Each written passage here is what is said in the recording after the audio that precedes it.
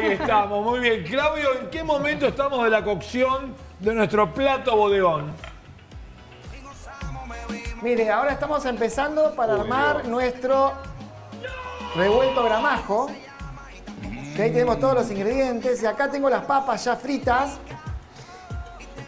Entonces vamos a empezar poniendo los ingredientes, que esto es re sencillo. Mire, ponemos arvejitas. Sí. Son los... Ahí está. Movemos un poquito. Le vamos a poner el jamón. Cortado en tiritas. No llega. No llega. El jamón no llega. No llega. Ahí está. Le vamos a poner entonces acá el huevo. Que ahora lo vamos a revolver todo. Para que se integre. ¿A dónde dejé la? Acá.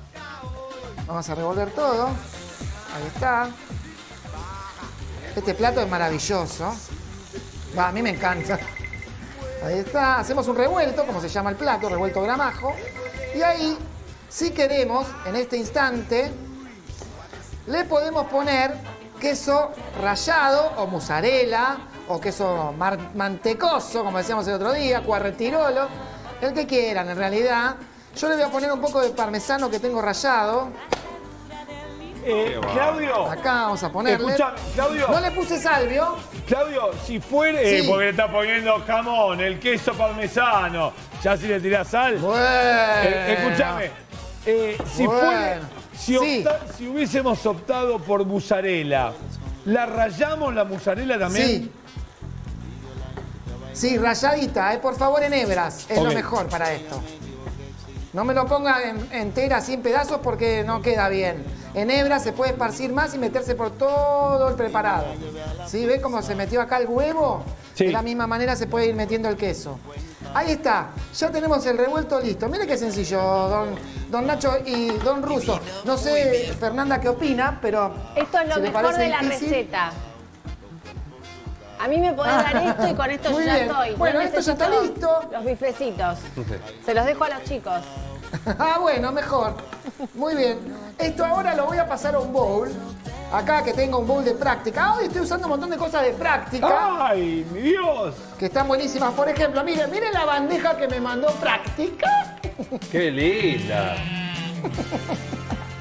Miren, tenemos el bowl de práctica, tenemos este bowl de práctica, Todo las combinado. lindas estas cucharas que son divinas.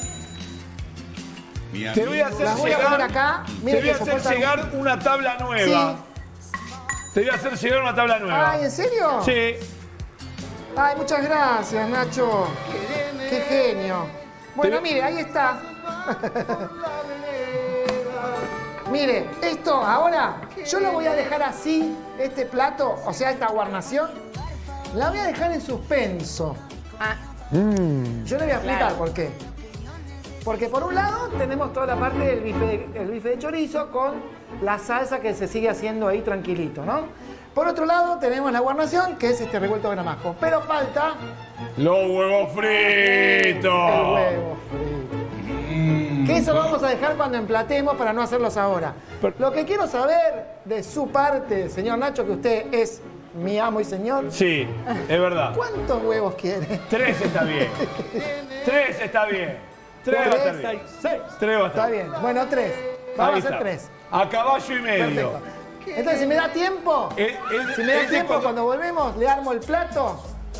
Ese va a ser nuestro segundo restaurante. El primero es con guarnación.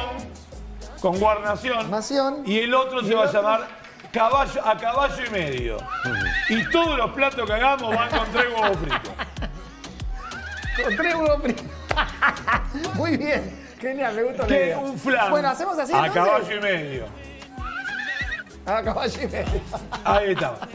Claudio, en un ratito vuelvo a tu casa. Genial. Vamos a un corte y cuando regresemos, Miguel Cantilo, más del Día Mundial del Pan y por supuesto el emplatado de nuestro bodegón de viernes en Él Nos Toca. Ya volvemos. Esto